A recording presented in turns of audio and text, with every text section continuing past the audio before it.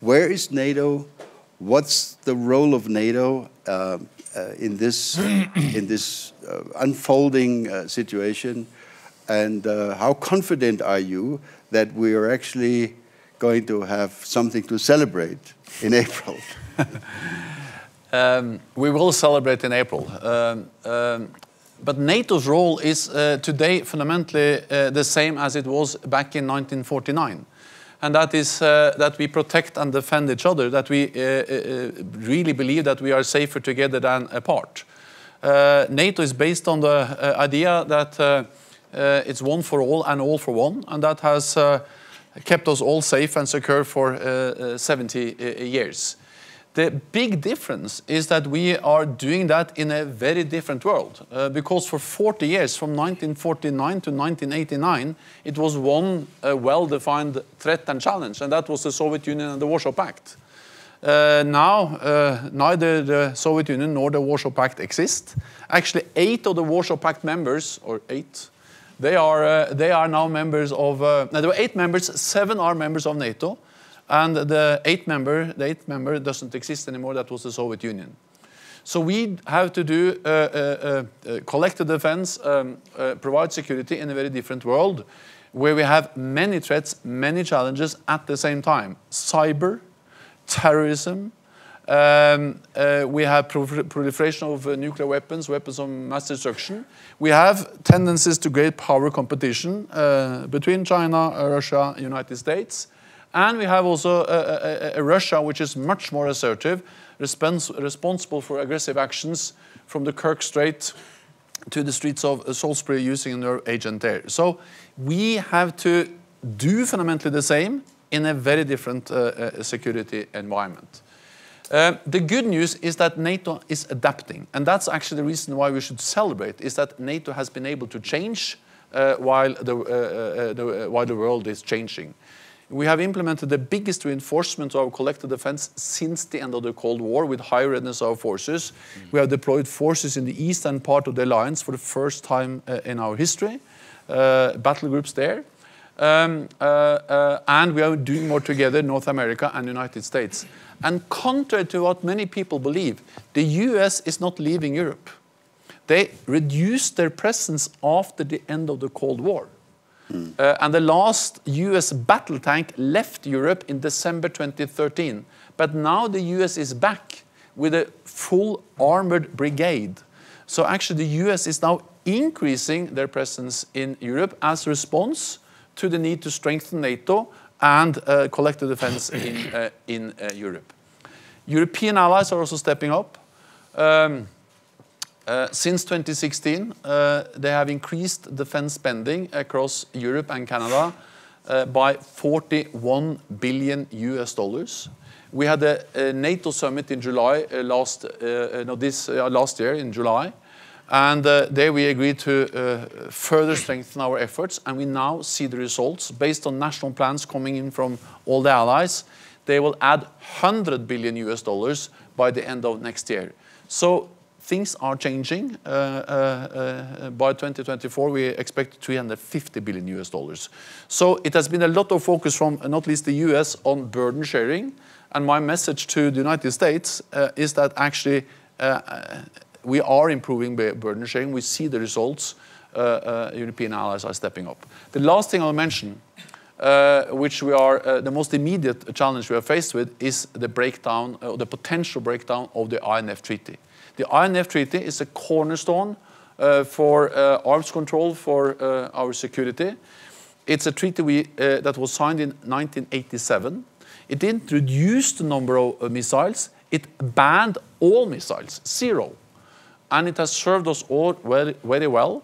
The problem now is that uh, Russia is deploying new missiles in Europe, violating the treaty.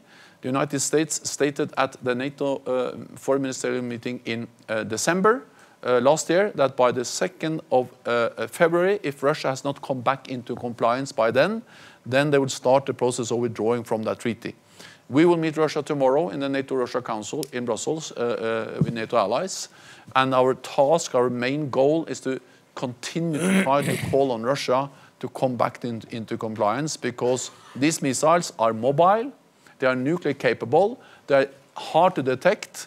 Uh, they, they have short warning time. They can reach European cities.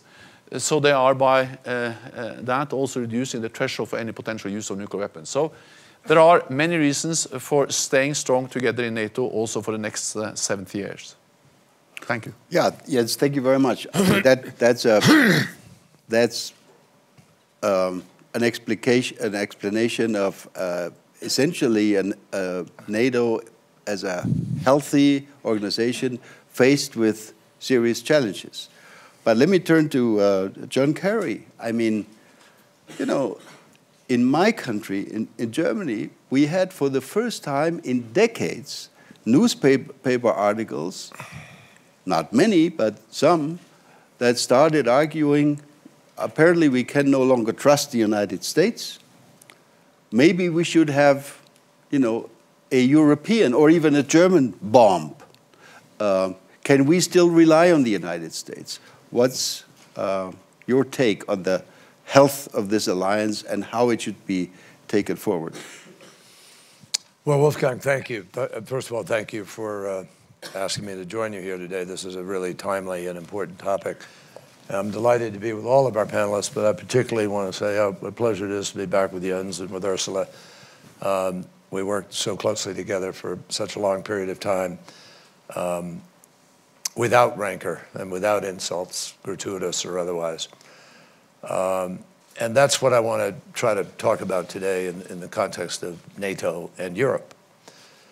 Uh, and I ask you, all of you, to think about this discussion in a larger context. Um, NATO was created and the European project was created to stop Europeans from killing each other, bluntly put. And if you go back to the 1940s and 50s and the challenge of a then Soviet Union, um, just because the uh, nature of the entities have changed, i.e., Soviet Union to a Russia to a federation and so forth, Europe, et cetera. Um, just because that's changed does not change the fundamental interests and values that underscore not just NATO, but Europe. And, and NATO is integrally a component of the European project. It has to be viewed as such. And there are countless ways. I mean, Jens could run through a long list of ways in which NATO has proven itself as a bulwark in support of the European project. Now, writ large, globally, this is a moment in human history. It's a moment in the, in the, in the movement of, of, of, of the challenges on this planet, and they are massive and grown right now. This is a moment for the world to be coming together, not to be breaking apart. And you have to measure the breaking apart, whether it's a Brexit, whether it's the turmoil in several European countries, uh, the, the sort of neo-populism slash, I would say, demagoguery that is uh, pulling people into a place of fear again in Europe. Uh, you have to stop and measure history, folks. Uh, no place has done well when economies are become tense, when people don't do well economically and shared prosperity of globalization, when you have uh, uh, demonstrable discrimination uh, and, and fear promoted through, uh, through exploitation of religion or uh, or sect or tribe or geography uh, or uh, you know background. The history is not good when those forces are unleashed. And then when you add to it a demagogue who comes along and wants to exploit it. And I think all of you can find one or two or three or four demagogues at work today. The fact is that uh, there are leaders of major countries in the world uh, who are promoting a new narrative about the liberal order of the West, which is part of what NATO is. It's part of this bulwark that was built in the aftermath of World War II and the history of the 20th century and the numbers of people who died in that century World War I, World War II, Vietnam, so forth. It, it, it, it's you know, vastly more killing than is taking place anywhere on the earth today. And part of the reason for that is NATO. Part of the reason for that are the values that are lived out in Europe. Frankly, it astonishes me and troubles me that there are greater and more voices in Europe. There are voices, Angela Merkel, Macron, people who've stood up for Europe. But there aren't enough voices celebrating the extraordinary meaning of the last 70 years.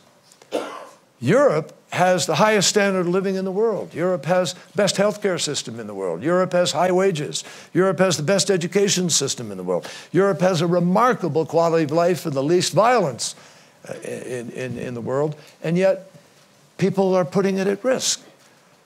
Frankly, it's incomprehensible. And when you look at NATO, you know, the United States of America was attacked from Afghanistan. Europe is still with the United States of America in Afghanistan. Now, not in my judgment in the best strategic way today, because I think we need to transition and transition away, and there are ways to do that using a platform against terror that would benefit all of us without uh, maintaining an unsupportable forever presence, which I think is unsustainable.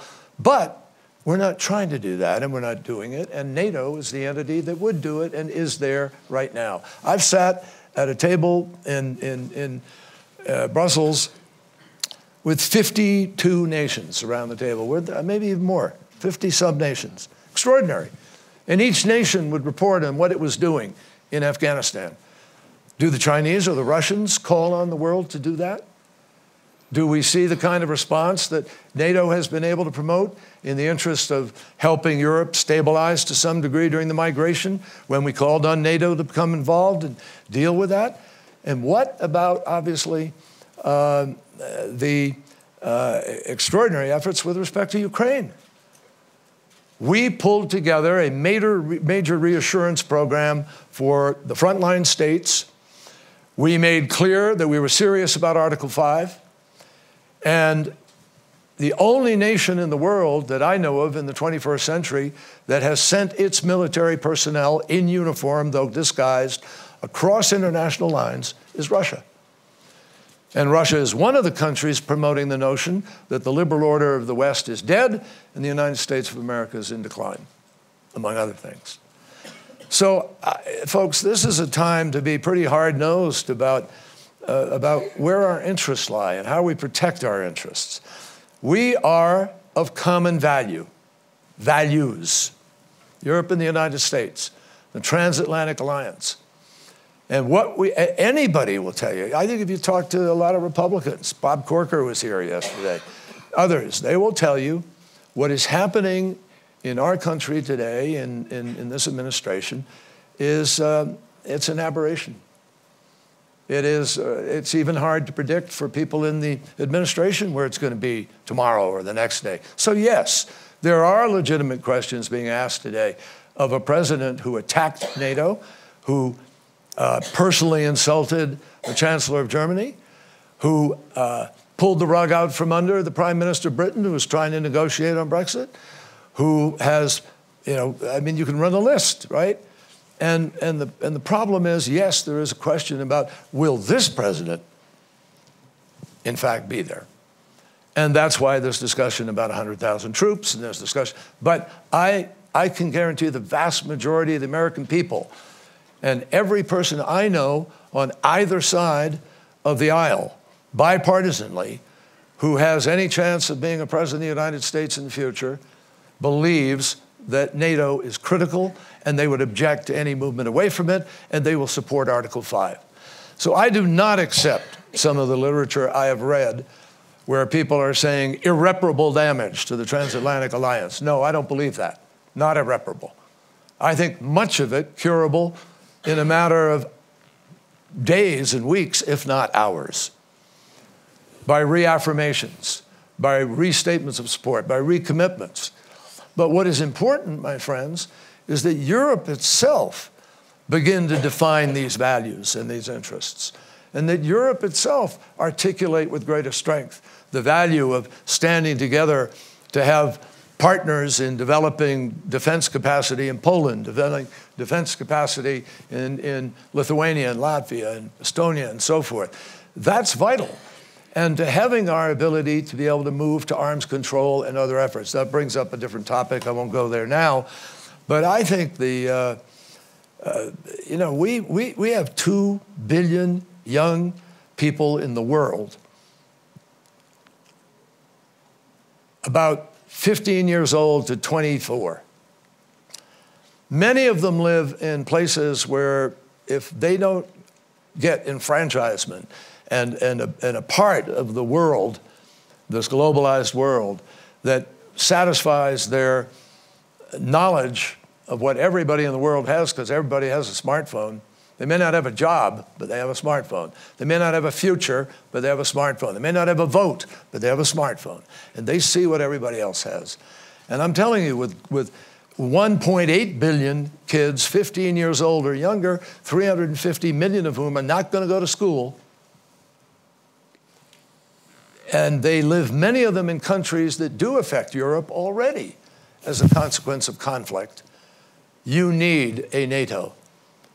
And NATO has the ability to adjust to those kinds of threats. We shouldn't be limited just by what created NATO. We face threats going forward. Perhaps the biggest of all was mentioned earlier cyber. You can bring countries to their heels in nanoseconds, pushing a button. 20 people in a barn somewhere in Eastern Europe or somewhere else in the world who are properly funded have the ability to be able to terrorize a nation, if not bring it to its heels. That's our threat. And we need an entity like NATO that can help guide what our, our protocol is going to be with respect to cyber going forward.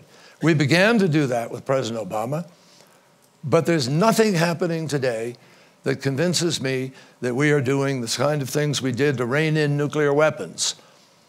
We're not doing that with cyber. We need the same type of nuclear negotiation for cyber that we had to begin to go from 50,000 warheads pointing at each other in Reykjavik when uh, when Reagan and Gorbachev sat down. Now we're down to 1,500 and some, and we propose going lower. So NATO is critical to the ability to give confidence to people about those values, about those interests, and, and it is the strongest vehicle we have right now to provide co cohesion to the defense and security of a critical friend, ally, trading bloc, and value based uh, uh, uh, alliance. And I think that is irrefutably a, a moment of strength and something we should adhere to, not seek to undermine and destroy. Thank you, John. Thank you. Very impressive. Um, now, let me turn to the German defense minister. Um, you know, listening to John Kerry, one question that might come up is so if, if, if it's like that, why would we need a European army? Why do we need um, uh, to talk about autonomy of Europeans, etc.? Can you explain to us a little bit what uh, the motivation is and to what extent these ideas about European capabilities are or are not um, helpful to the larger NATO effort? Please. Yes, thank you. Um, thank you, John, uh, for, and I can underline each of your words. Um, you know, NATO, if, if we wouldn't have it today, we should invent it.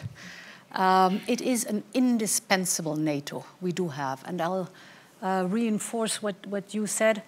Uh, we are totally aware that um, NATO, yes, it is the strongest military um, alliance in the world, but why do we have it? Because it is a, an alliance of values an alliance of democracy who have sworn to each other that we will defend each other undisputed uh, uh and without any regard whether it's a mighty and a large country or a small and little country. And um, this, this sentence of um, and this feeling in NATO that we are defending together values of democracy, the freedom, the rule of law, the dignity of every single person, humanity. In humanity, this, these are the values why we came together, as you pointed out, 70 years ago. But today, if we look around, those are all values that are under pressure again. And therefore, NATO is, again, in a period of transformation, indispensable, and it's our task to make it, um, to have it adapted to the new challenges we do have. Now, referring to your question, NATO is an alliance of 29, and uh, we will, as you said, Jens, one for all and all for one.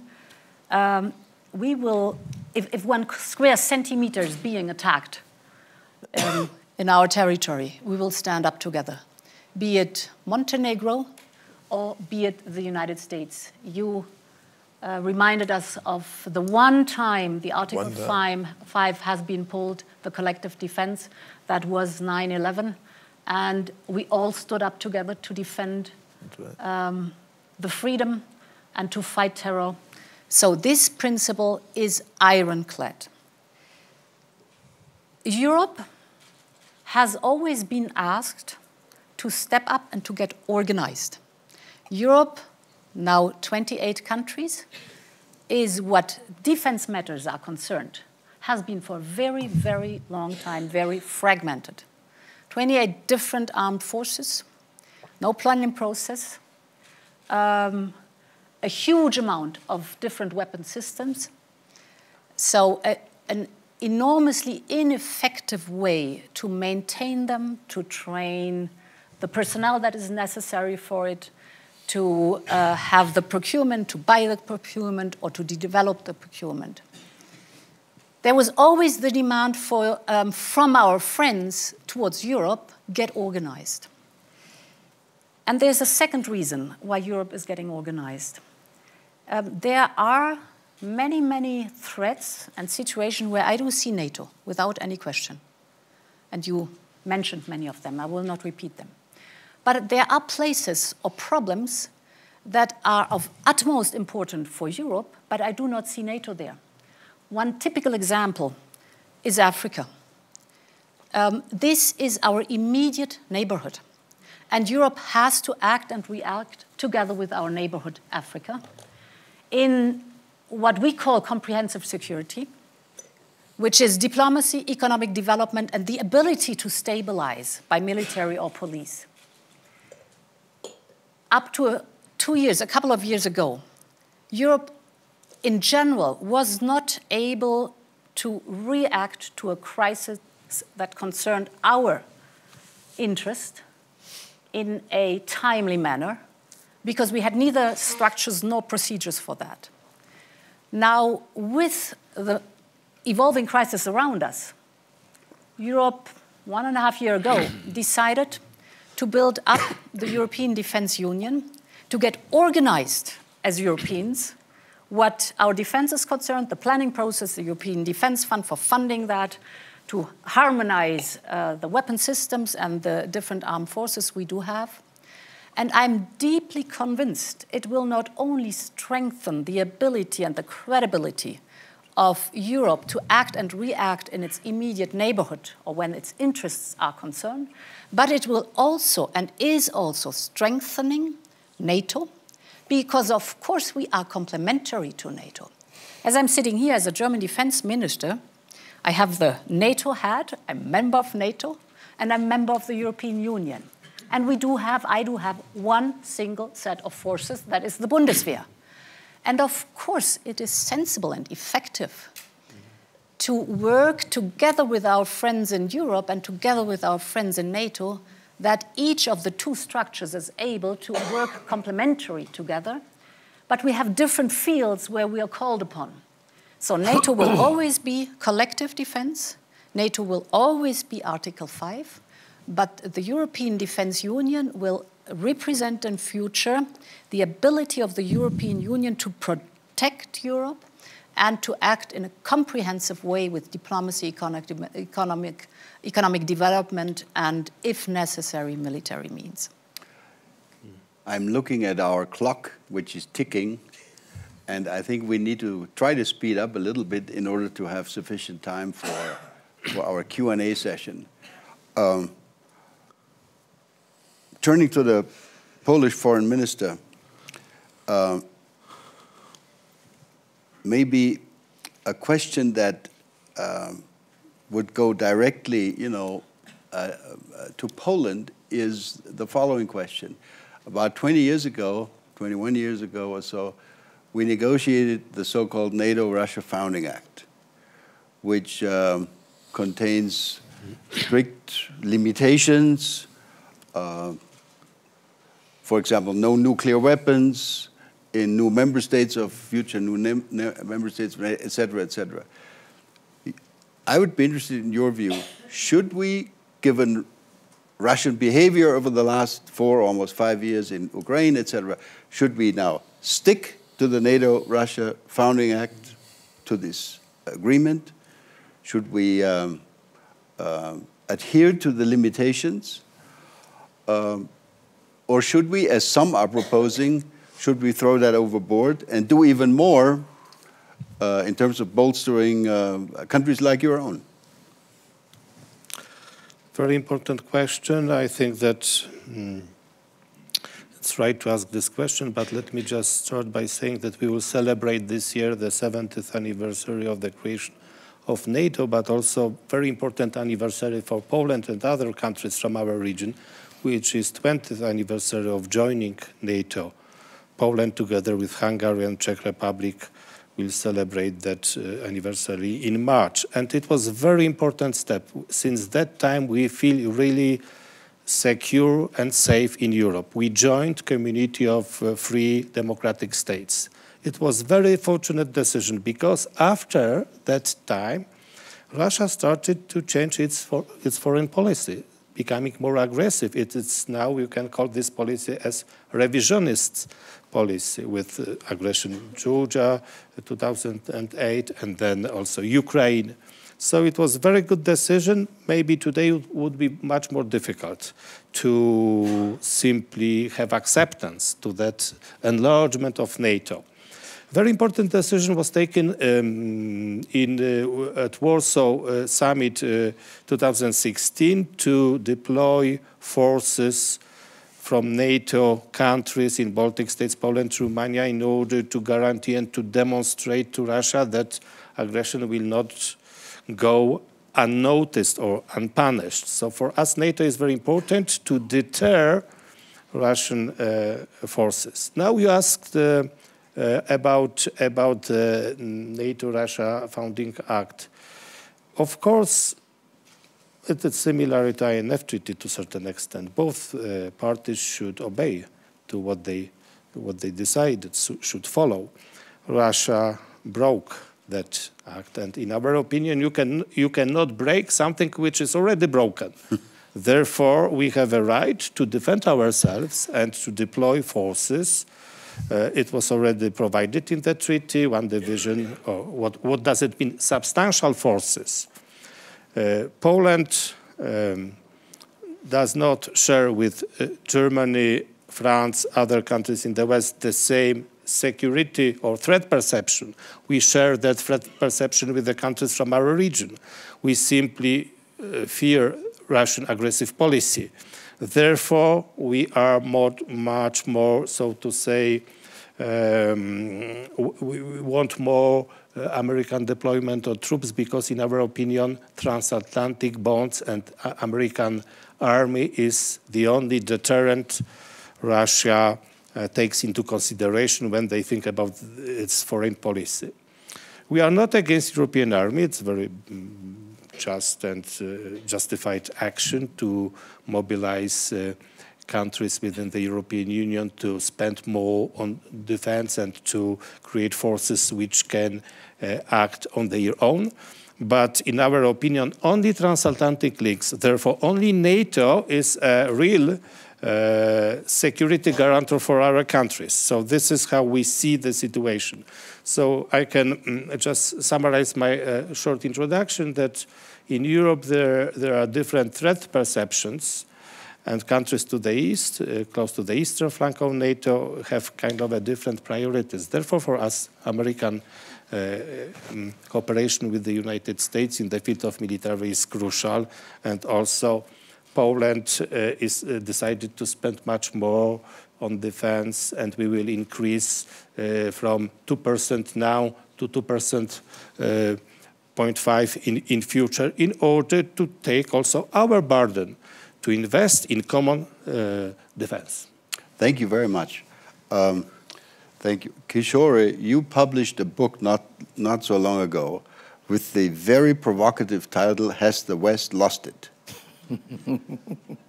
so here's my question. I brought a copy here. so here's my question. Has the West lost it when you listen to this discussion? Um, or, hmm. to put it a little more, I, I guess, intelligently, uh, what role do you see as, a, as, as looking at NATO and our region from the outside, from an Asian perspective, hmm. what role do you see for the transatlantic alliance in, a, in the evolving international system, in this new landscape of uh, quote unquote great power competition, et cetera, et cetera. Kishore. Well, I, to be I, brief. Know, I, know, I know you're watching the clock. Yeah. so yeah. I'll make uh, three very quick uh, points to answer your question uh, directly. The first point I want to make, and it's an important point, I think from the point of view of the rest of the world, at a time when everything is changing, right? We are entering a new era of world history. And just to give you a, how, how dramatic the change is, you had 200 years of Western domination of world history. Today, in PPP terms, the number one economy is China, number two is United States, number three is India, number four is Japan. Not one European country in the top four. It's a different world. So, with everything changing, it's good to have some pillars of stability in the world, right? And since the West created, in many ways, the global architecture post 1945, which is still, I think, working and holding the world together. And I, I spent 10 years as ambassador to the UN, so I know that these, many of these global multilateral institutions work, and they rest on the transatlantic alliance as the substructure of the global uh, governance architecture. So the rest of the world doesn't want to see this transatlantic alliance being shaken. It's good if it stays together. But my second point at the same time is that at the end of the day, an alliance is about threats. Now, threats, as you know, are, we are talking about geopolitical threats. The word geopolitical means geography political. Now, the geography of Europe is very different from the geography of the United States or North America. And the number one threat that Europe is going to face in the 21st century is not the number one threat that America is going to face in the 21st century. To put it very bluntly, what, the, what Europe's going to face, in 1950, Europe's population was twice that of Africa's. Today, Africa's population is twice that of Europe's.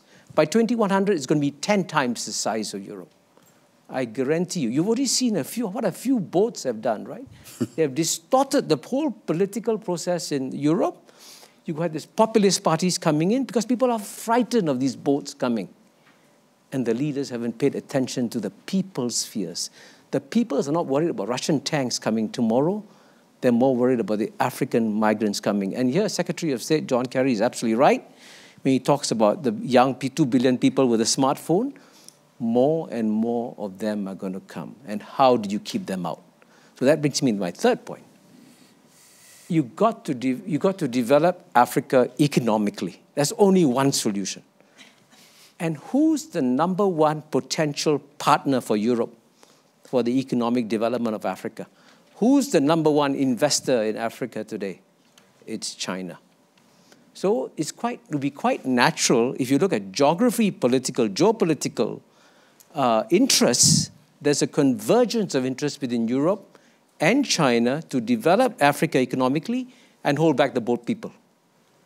But I guarantee you, and that's what my next book is about, in the next 10 years, there will be a spike in US China rivalry.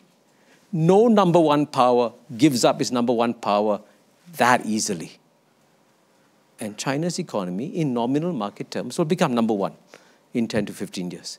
There will be a tremendous Sino American geopolitical struggle coming. And then, where does Europe stand? Does it look after its own geographic interests and work with China and Africa? Or does it work with the United States to counterbalance China and sacrifice its interests? Now, these are hard questions. There are no easy answers. But what I would recommend to the Transatlantic Alliance, since we want you to continue, we want you to remain strong, please have some very hard headed discussions among yourself about how you keep this transatlantic alliance strong in a 21st century which is completely different from the 20th century. Great, thank you very much. That's, uh, that's a thought provoking point that you're making. We are now uh, inviting all of you to uh, ask questions. Who would like to ask the first question? Again, Hello. please identify yourself if you could. Thank you. My name is Ludmila Batura. I'm Global Shaper from Minsk Hub. I have a question to Mr. Stoltenberg, Stoltenberg Mr. Kerry, and Mr. Czaputowicz. Um, recently, in uh, foreign media, uh, on foreign media, in press, there has been um, dispute whether Russia will occupy Belarus. So I was wondering, uh, what is your opinion? Whether this will happen, how this will happen, whether it will be like a, a military aggression or not, and uh, if it will happen, what could be the response of NATO? Thank you. All right. Jens? First of all, I think uh, that we have to just uh, assume that that will not happen. Uh, uh so, uh, uh because I think it's extremely important to uh, stand up for the sovereignty and the territorial integrity for every nation in uh, Europe. having said that, we have seen that Russia has violated the territorial integrity of several neighbors. Russia has troops in Moldova uh, without uh, the consent of the government in Chisinau. They have uh, uh troops in uh, two uh, parts of Georgia, Abkhazia and South Ossetia. Um, and of course, they have illegally annexed Crimea and and they are destabilizing eastern Ukraine. And we have seen the, the aggressive actions of of uh, Russia in the, in in the uh, Sea of Azov. Um, what NATO is doing is that as a, as a as response, not least to this uh, more assertive Russia and more uh, these aggressive actions of Russia, we have, as I said, significantly strengthened the readiness of our forces, uh, increased our presence in the eastern part of the alliance, and European allies are now investing more in defense, and US is increasing their presence in, uh, in, uh, in Europe. And the reason why we do that is to prevent conflict. The main reason for NATO's deterrence is uh, to send a clear signal to any potential adversary that if any ally is attacked, the whole of NATO will be there. And that's the best way to avoid any conflict. And, um, and uh, so NATO is responding, uh, and, um, and, uh, and we are ready then to, of course, defend any NATO ally. Belarus is not a member of NATO. John, you want to add something to that? No, I think that covers it. That covers it. Yeah. If I may just add to this, of course, Belarus is a very important neighbor of Poland, and we support sovereignty, territorial integrity, independence of Belarus. I think that also there is a role for the European Union to support pro-European orientation uh, in the country we will celebrate this year, indeed we do, we do it already, the 10th anniversary of Eastern Partnership Program, so we have to be creative and try to somehow uh, simply support society. Of course, you ask about some dramatic events concerning aggression, uh, there will be mm, breach of international law by Russia if it happens. Therefore, I think the reaction of international communities should be strong, and NATO, both European Union, other actors should give clear signals to Russia that it will be not tolerated. You're next. Uh, hello, I'm Trisha de Boergraaf. I'm a freelance writer. I just wanted to ask you, in terms of um, the cohesion of Europe and, and standing and, and, and, standing up for its own, and to be uh, legitimately looked at in the world as a force for good and power, could could you comment a little bit on what its relationship should be to um, a, a divisive country such as Iran? Now, who will take that question? Any, any takers? Uh, if well, I may, uh, sorry, John, please. Well, let, let, me.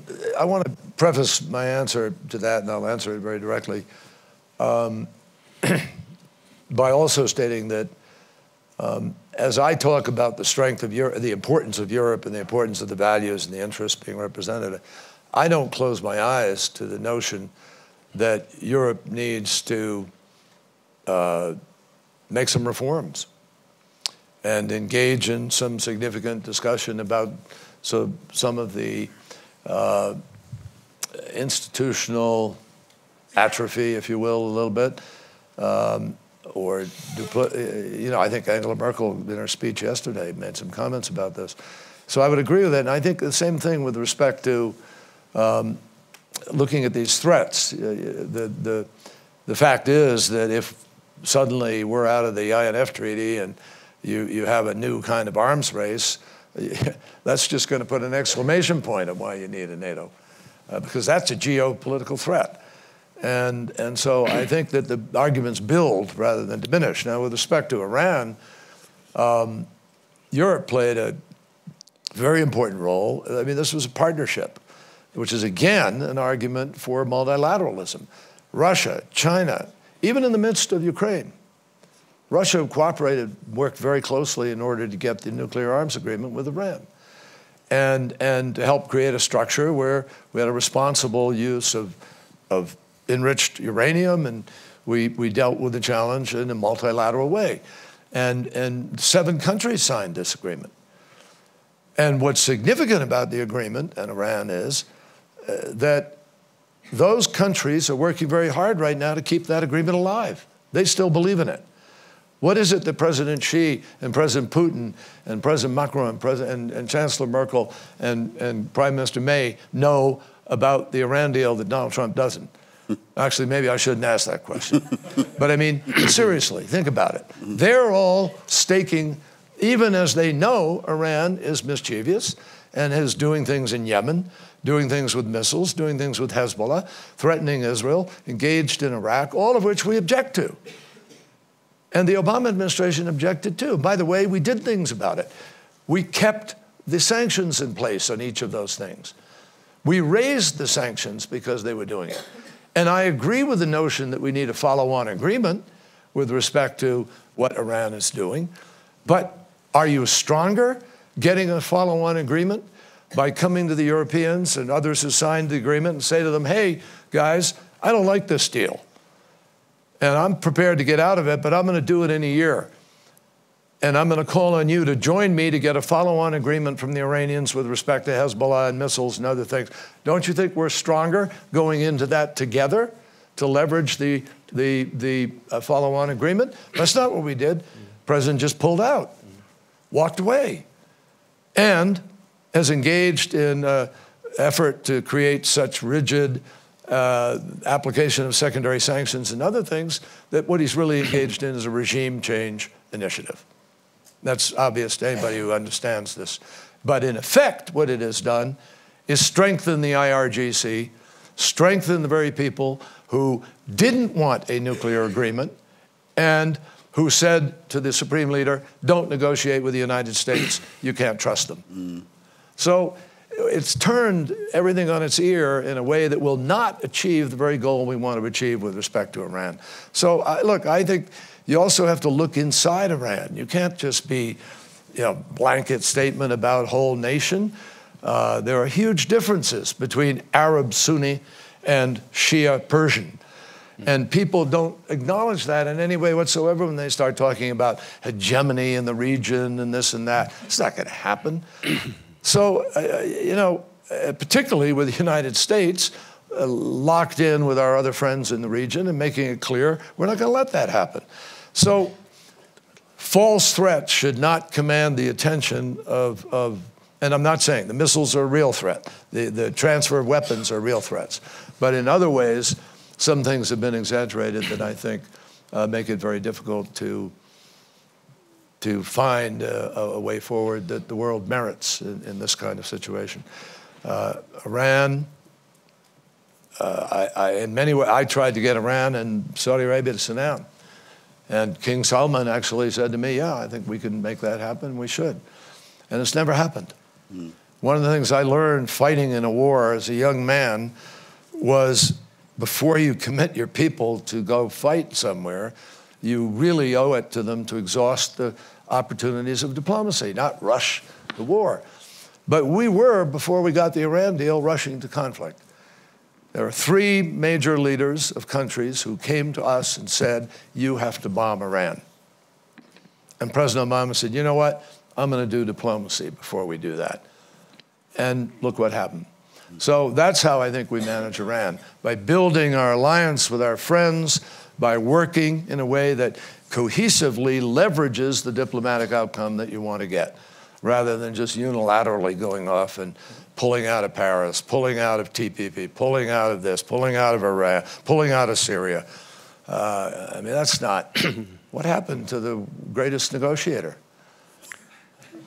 Yeah. If I may add to this picture, within the uh, European Union Foreign Ministers uh, Council, we discuss very often the situation in Iran, and I think that we share, the Europeans and the Americans, the share assessment of the and the role of Iran, which is a problem in the Middle East. We do not agree on how to deal with that. Poland, together with other EU member states, says that JCPOA is, uh, has positive impact and we stand by that agreement. The United States decided to withdraw. Now the problem is that, in my opinion, only acting together as a transatlantic community we can, we can be effective in generally dealing with the Middle East. Therefore, myself with Mike Pompeo, we invited uh, ministers from all over the world to the conference in Warsaw. It will be held the 13th or 14th of February to discuss that issue. So we will listen to ministers, to countries of the region, how they see the problem, because we think that again, transatlantic community is a value, and we have to mm, find a possibility to work together and to address that very important problem today. Good. It's an important point. Ursula von der Leyen. Yes, um, thank you, John, again for uh, your words, because um, if I may refer to your uh, brilliant analysis, um, yes, there are the two superpowers, the United States and China. Um, but you were asking where's the role of Europe in between. Well, the European experience is the experience that if we have a club of egoists and if we fight each other, we're all losing.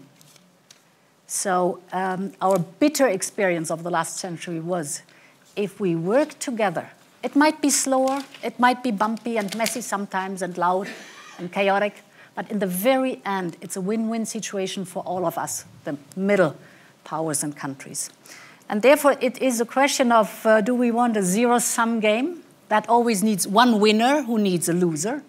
Or do we want to invest in the win win situation that can occur? They are slower, as I said, and they need a lot of diplomacy, they need a lot of compromises. But I think over time, this is going to be what's, this is going to be the model that's going to keep our world peaceful and inclusive.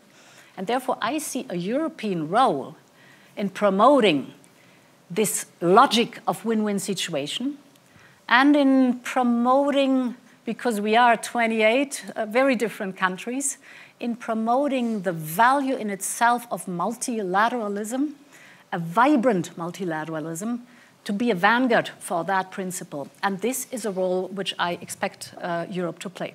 Just, just one line. We completely support it, but please show some determination. Okay. Well, if I may just say that when I was born, yeah. there were six countries in the European Union. Mm. Today I'm 60 years old. Mm. We have 28. It's a huge success story. Mm. It's an economic superpower. No, I agree. I agree. So 500 million people. um, peacefully together. Uh, after reunification, our friends who joined us, it was a win win situation for all of us. Prosperity rose. So um, there is a lot of dedication behind it. And we want to complete this and write on this success story in the security and defense sector, but always keeping in mind that multilateralism is the foundation of our work. There was somebody back there. Yes, please. Um, hi, uh, my name is Alvaro Sainz, and uh, my question is directed to the Minister of Defense of um, Germany. So one of the things you mentioned about was that NATO was the coming of, of common values and um, democracies. And uh, the survival of the alliance is clearly important and top of mind for, for you all. How do you deal with a member of NATO who is no longer sharing the values of democracy, putting thousands of people in jail, including many journalists, and it, it, it has become a pseudo democracy, a, a uh, you know, a strongman, if you will, um, um, pretending to be a, a democracy. Mm. How do you deal with that? Because you have the survival of NATO, but you also have members who will start uh, not sharing the values you have. Yeah. Um, the, the principle of an alliance is that, um, and, the, the examples you're pointing out, if you look at the history of NATO, we had over and over these situations where one member state um, took a wrong turning, if I may say so. And the principle always was it is better to have the country in our alliance and to work over time to find the road back to democracy and our values than to have it excluded and uh, as an opponent. And uh, there are many, many people in the countries you're referring to that are thriving for democracy, that are working for these values. So it's worth to work hard together. We have different issues, without any question. But the discussion about these issues and the work together to find back to the cohesion within the alliance concerning these values is 100 times more worth it than exclusion and than conflicts that are almost unsolvable. I think we have time for maybe one very brief question, but really just a sentence or so, and one brief answer because we're practically running out of time now. My name is Lena, I'm from Singapore. Uh, my question is with the enthusiasm from the Eastern European countries, the NATO members in China's Belt and Road Initiative, do you see this weakening of unity within the NATO members. Okay, who wants to take that one? Well, Jens, I think. No, I don't see any weakening of, uh, of unity uh, in, within the NATO. Actually, I, I, I, see the opposite. But, but having said that, we have to understand the following. NATO is an alliance of 29 allies. They are different. Uh, they have different history, different backgrounds, some from North America, uh, many of them from uh, Europe. Uh, different political leaders are elected. Sometimes they, they, disagree on important issues as trade or, or climate or, or many other issues. And they choose different paths on many different things. But they unite around the core task of NATO. And that is that we defend and protect each other because, especially in a world with more uncertainties, more threats, and more challenges, this is extremely important. And some are concerned about the size of China. Well, China is big, that's fair. Uh, but, but NATO, meaning 1 billion people, Europe and North America uh, together, is really a big uh, alliance which is able to cope with all threats and challenges we face in the world today, as long as we stand together. I think that was a pretty good closing remark. Yeah. Uh, thank you very much.